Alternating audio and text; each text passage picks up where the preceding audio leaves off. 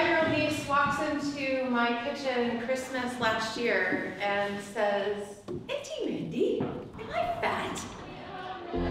This was my response to it. If we work hard enough, there will be a generation where they let it go. They can just be creative and powerful women and they never have to power down. What would that be like? What would the world be like with that?